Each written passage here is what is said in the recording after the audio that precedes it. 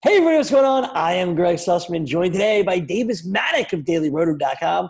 We're here to break down this weekend's PGA tournament. What's going on here, Davis? Well, you know, it is a little bit of a come down with the PGA schedule going from what was I, I mean that Sunday at the PGA Championship. I mean it was it was insane. That leaderboard was was nuts. And now we are coming to uh, one of the one of the least prestigious events on on tour, where we head to the Sedgefield Country Club to play the Wyndham Championship. Uh, but you know, it's still going to be great golf. Stronger field than we normally get for this event, just due to the way that the PGA Tour schedule is working. So still, still some stuff for us to wager on. Still some bets that we like. I was never worried about having bets that we liked, but it is definitely a come down from last weekend. The PGA Championship was just awesome. We got golf in prime time. We had a leaderboard, leaderboard full of stars, and we had everybody tied at the top. 10 different people, it felt like, were in the lead on Sunday at the PGA Championship before Collin Morikawa uh, walked away with the victory with that unbelievable tee shot. And hopefully this weekend will be just as fun. So let's begin and let's start with the golfer that has lowest odds that you like. We begin at 33 to 1, and that is Billy Horschel. So Horschel is a guy whose game has been extremely up and down since the restart. But when we look at the Sedgefield Country Club, this this really is kind of a, an old man grinders kind of course. You know, we see guys who hit it 280 off the tee. You know, they hit their pitching wedge 120 yards. Like those guys actually can succeed here. We saw when Tiger Woods returned from his back injury, this was one of the first golf courses that he did really well at with his new, you know, not bombing it off the tee game. And Horschel really hits that profile. And, uh, you know, if you look at Webb Simpson versus Billy Horschel and you take strokes gained putting out of the equation, they've been pretty similar golfers since the restart. Horschel just hasn't been, you know, on fire with the putter. So 33 to 1, we uh, we really like Horschel.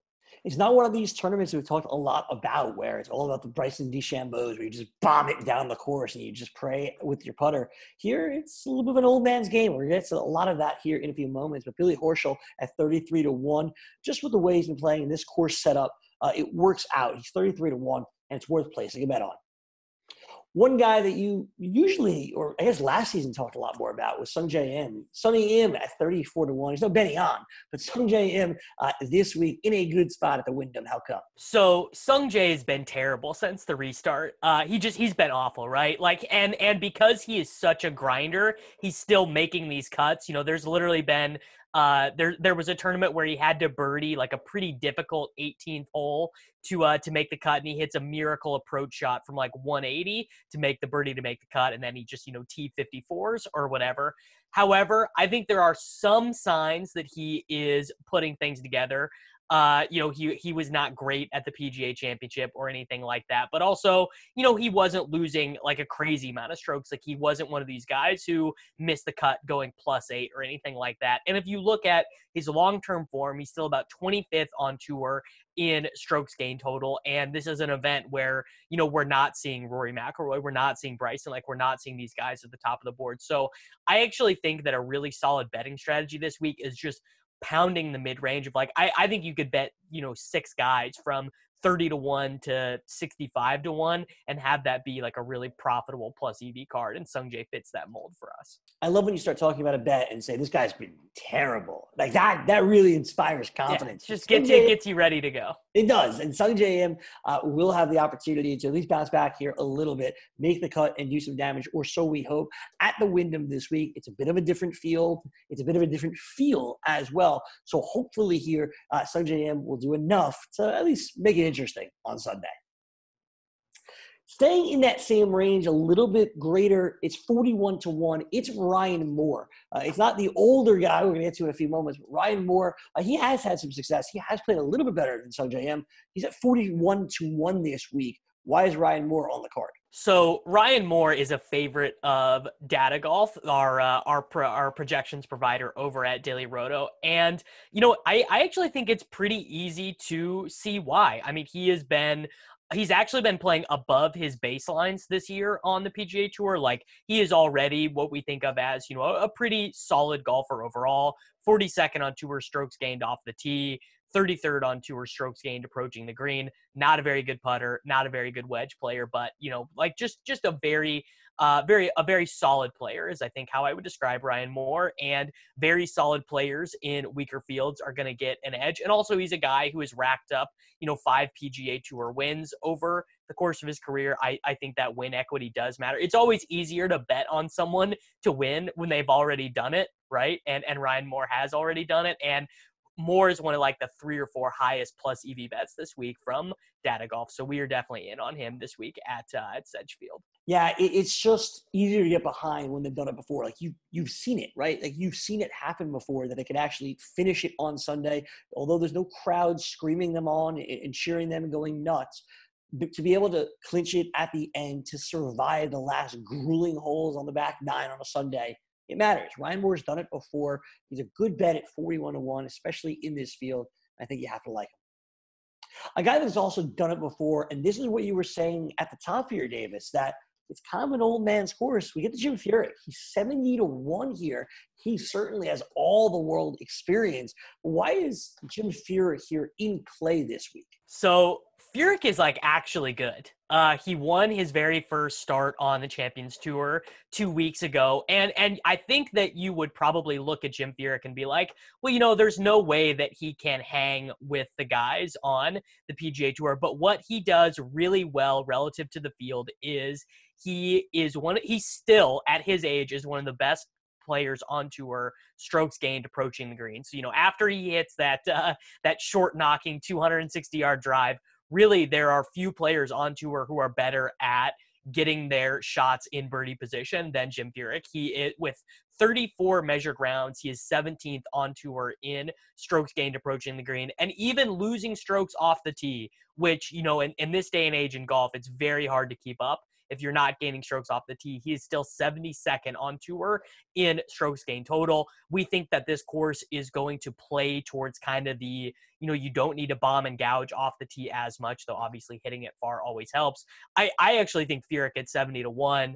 Um, you know, if I was making my bet sizes corresponding to how much I like them instead of just doling out the units beforehand, Furyk at 70 to 1, I think would be my biggest bet. I, I straight up think he can win here it's great that you're betting on someone that you actually think can win. Like that's a really good start here. And even yeah, I, I, think that's going to be very healthy for my long-term betting career. If I stop betting guys I like and start betting guys I actually think can win. Absolutely, and I think this is a good start. In fact, unlike Sungjae Im, where you're just like this guy's terrible, you know Jim Furyk's actually pretty good. And now I'm kind of believing it, man. You you think that this guy, even though he's on the Champions Tour, he's not a young spring chicken anymore what he's doing around the green is what other players are not. If he could just keep um, keep the tee shots in play and, and do enough, he's going to make some noise this weekend. As Davis says, this guy actually has a chance to win. You're getting him at 70 to 1, so place the bet.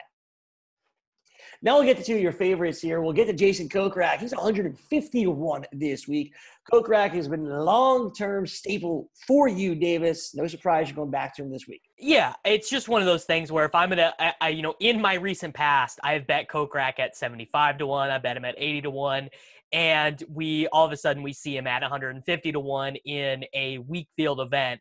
I, I mean that's just uh that that's pretty much just a slam dunk. And actually, go back and look at how he's done at this event in the past. He had a T6 at this event last year in 2019.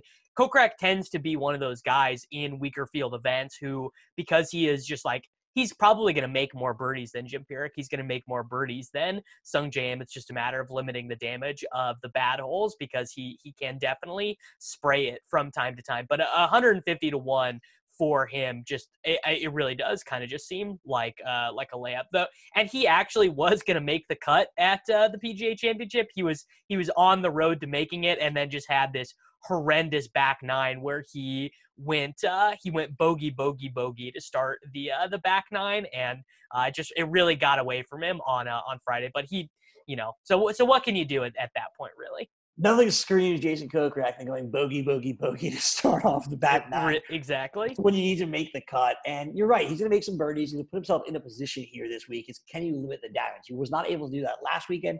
Hopefully, with this field, with company a little bit different, uh, he will be able to get that job done.